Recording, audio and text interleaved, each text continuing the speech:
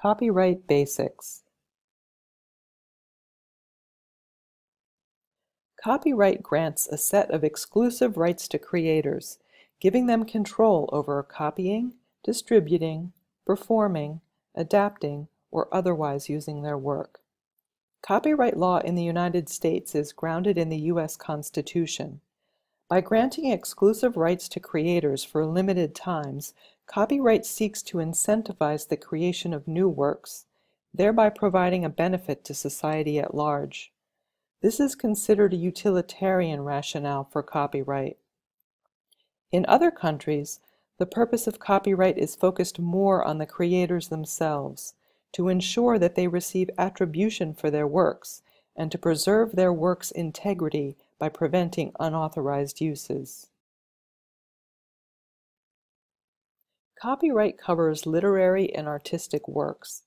In U.S. copyright law, this category includes a broad range of outputs, books and other writings, musical compositions and sound recordings, dramatic works, choreographic works, pictorial, graphic, and sculptural works including photographs, paintings, and maps, motion pictures and other audiovisual works, architectural works, and computer software, to name a few things.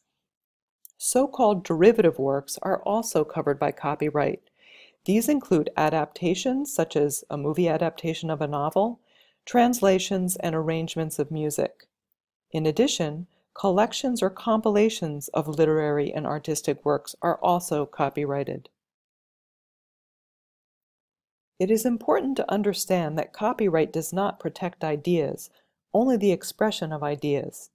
Just because you own a copyright in a book that presents an exciting new concept does not mean that you own or control the concept itself. Copyright also does not protect facts, procedures, methods, or processes, lists of ingredients, familiar symbols or designs, work consisting entirely of information that is common property and containing no original authorship. For example, standard calendars, height and weight charts. In addition, works of the U.S. government are not subject to copyright.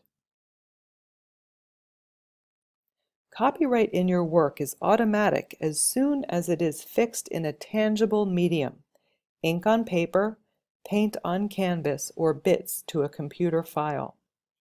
Registering your copyright is optional. You must register, however, if you wish to bring a lawsuit for infringement of a U.S. work. And registered works may be eligible for statutory damages and attorney's fees in successful litigation. In some situations, you may not own the copyright in your work. This might be the case for work created in the course of your employment, or if you created the work as an independent contractor. If you are the co-creator of a work, you are likely a joint owner of the copyright. Copyright is one type of intellectual property. Intellectual property is the term used for rights that allow creators to control the use of their creative works. One common type of intellectual property is trademarks. A trademark is any name, symbol, figure, letter, word, or mark adopted and used to distinguish goods, services, or establishments from competitors in the market. The holder of a trademark may prevent its use by others if the use would cause confusion among the public. Examples of trademarks are McDonald's Golden Arches and Geico's Talking Gecko. Another type of intellectual property is patents. A patent is an exclusive right granted to an inventor allowing the inventor to prevent others from making, selling, or using their invention for a period of time. In order to balance the needs of users with those of rights holders, and to make sure people can utilize copyrighted works for uses in the public interest, copyright law contains a number of exceptions and limitations. Uses of copyrighted works that fall under these exceptions and limitations do not require permission and are not infringements of the creator's copyright. In the United States, some examples of exceptions and limitations to copyright apply to face-to-face -face teaching, distance education, library copying, public displays, photographs of publicly visible architectural works, and specialized formats for the blind or other persons with disabilities. Many of these exceptions apply only to certain types of work under very specific conditions.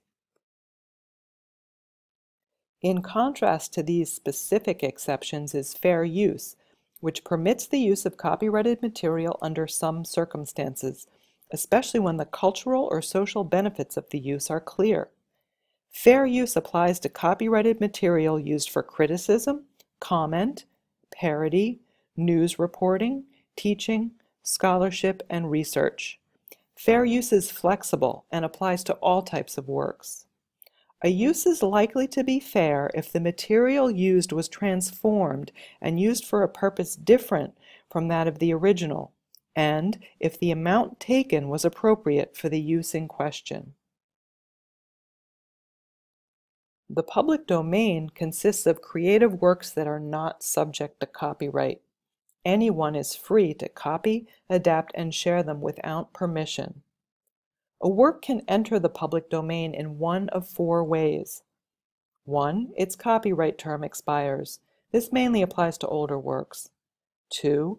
The copyright holder failed to comply with formalities to acquire or, or maintain their copyright.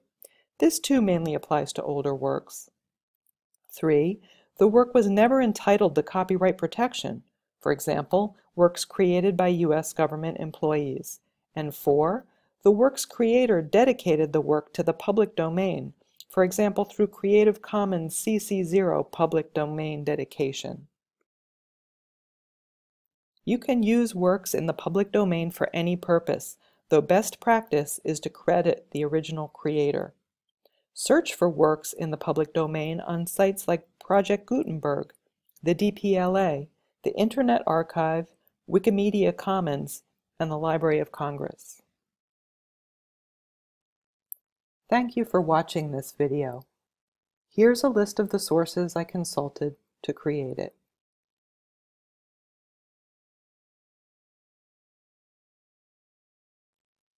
And here is a list of credits for the images I used on the slides.